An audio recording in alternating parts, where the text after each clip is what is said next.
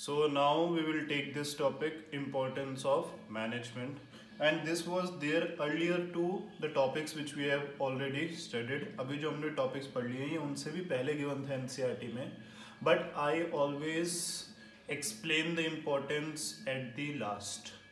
and the reason lying behind is कि when we go through the complete chapter when we go through the complete theory which is given to us the complete concept all the elements features then only we got to know the importance हमको importance तभी थोड़ी सी ज़्यादा अच्छे से समझ में आती है जब हम उसके बारे में सब चीज़ पढ़ लेते हैं whether its concept meaning concept its features its elements its functions सब चीज़ पढ़ने के बाद ही हमको एक्चुअल में उसकी इम्पोर्टेंस समझ में आती है इसी वजह से मैं इम्पोर्टेंस हमेशा हर टॉपिक की चैप्टर के एंड में स्टार्ट करता हूँ।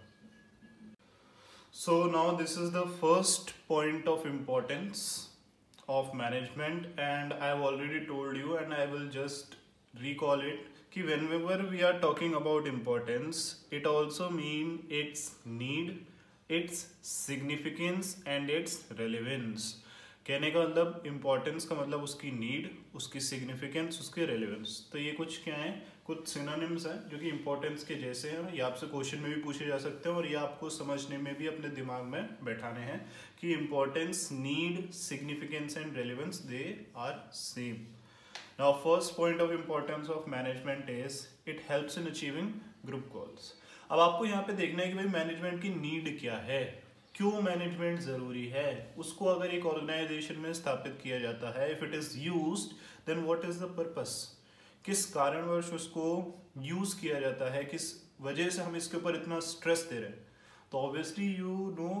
the meaning the concept you know the meaning of management जो प्रोसेस का हमने उसको मीनिंग बताया था कॉन्सेप्ट बताया था as well as we have studied the objectives also so management का first and prime objective is what organisational objectives वो कहता था कि management is is a body is an intangible force which is created to achieve the objective हमने management के features भी पढ़े, जिसका फ़र्स्ट था management is a goal oriented process तो जब भी किसी भी ऑर्गेनाइजेशन का एक प्री डिटरमाइंड गोल होता है, एक प्लान्ड गोल होता है तो मैनेजमेंट एक ऐसी इंटेंजिबल बॉडी है जो उस गोल को अचीव करा सकती है। अगर हम मैनेजमेंट उसके फ़ंक्शंस उसके कॉन्सेप्ट को एलिमेंट्स को ध्यान से समझें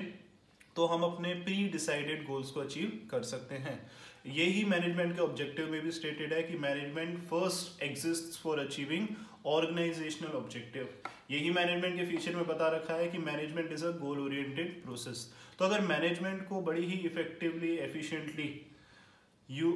effectively efficiently किया जाएगा मैनेज किया जाएगा, इस प्रोसेस में इन्वॉल्व हुआ जाएगा तो obviously it will help in achieving goals but here one thing more I will mention कि here we are telling it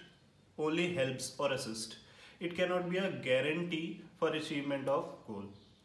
ठीक है? यहाँ पे हम इतना बोल सकते हैं कि अगर आपके कुछ गोल्स हैं ऑर्गेनाइजेशनल गोल्स हैं ग्रुप गोल्स हैं तो उसको येस डेफिनेटली अचीव करने में हेल्प करेगी management but but it is not 100% sure that you will achieve the goals because the achievement depends upon many factors they are affected by multiplicity of factors which are controllable and uncontrollable so it only helps in achieving group goals it cannot be a guarantee for achievement तो ये कहती है कुछ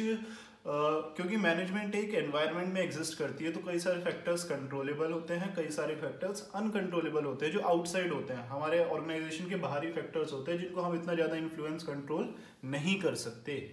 तो management सिर्फ़ उन, उस environment में एग्जिस्ट करके अपने ऑब्जेक्टिव्स के हिसाब से उनको कोशिश करती है अचीव करने की and effective managements are those which actually achieve those goals But yes, simultaneously we cannot say it guarantees success or it guarantees the achievement. Second point of importance of management is it increases efficiency. We have studied about this term efficiency in this chapter and we got to know the meaning also. Efficiency means what? Achieving the target or doing the right task with minimum cost saving cost and doing the right task so management obviously because we are achieving goals so we are effective but as we have studied in the definition along with effectiveness one thing is more important that is efficiency सिर्फ़ goals को achieve करना इतना important नहीं है लेकिन goals के साथ goals के साथ अपने रिसोर्सेज को सेव करना भी बहुत इंपॉर्टेंट है तभी मैनेजमेंट के जो ऑर्गेनाइजेशनल ऑब्जेक्टिव्स हैं प्रॉफिट और ग्रोथ अचीव हो पाएँगे। सर्वाइवल आपका तब होगा जब आपके गोल्स अचीव हो रहे you are effective but being effective is not enough सिर्फ़ इफेक्टिवनेस से काम नहीं चलेगा because you are in a competitive arena आप बहुत ही कॉम्पिटिटिव स्टेट पे हो, और आपको क्या करना है, अपने प्रॉफिट्स को इंक्रीज करना है, ताकि आप आगे चल के रिस्क कवर करने के लिए और ज़्यादा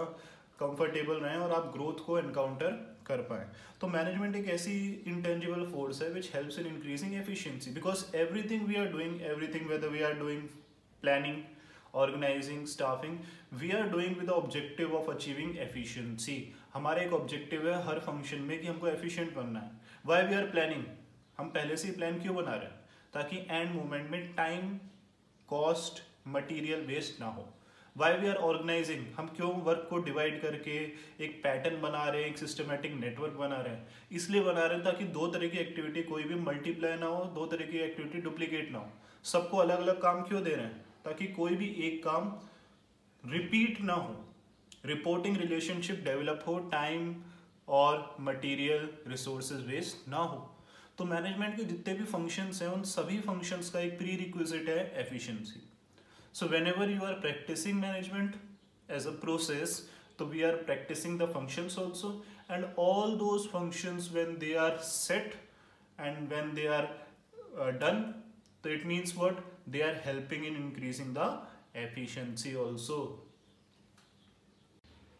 Now third point of importance of management is that it helps in creating a dynamic organization. So this word we have already seen this in the features of management management के features में हमने ये term पढ़ी है कि management creates a dynamic organisation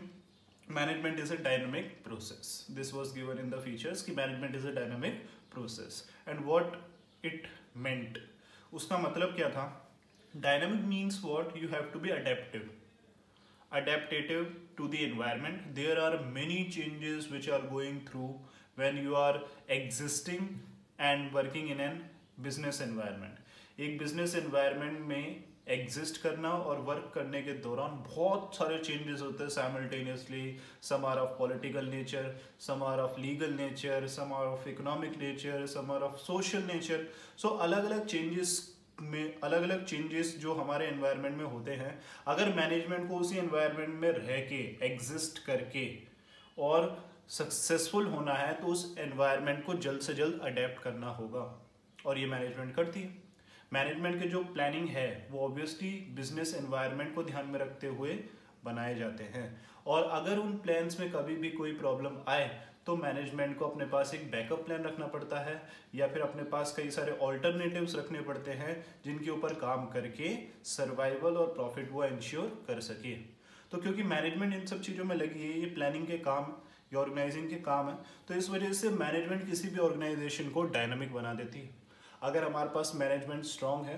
तो डायनमिज्म भी देखी जाएगी। वो मैनेजमेंट चेंजेस को अडेप्ट करने के लिए एवर रेडी है और उन चेंजेस में से अपॉर्चुनिटीज़ ढूँढने के लिए और थ्रेट्स को अवॉइड करने के लिए थ्रेट्स की प्रिपरेशन करने के लिए रेडी है। So now these are the fourth and fifth points of management's importance helps in achieving personal objectives and helps in the development of society So have already discuss कि it is very much को related with the topics which we have already studied हमने management के objectives पढ़े हैं, कि it helps in achieving personal objective management कुछ personal objectives भी पूरा करने में हेल्प करती है like competitive salaries pay and allowances some additional perks in fact some non-monetary things also like status recognition peer peer recognition your some motivation some good working environment so all these are needed by individuals before asking them to be a part of a group and contribute to the group's objective it is very important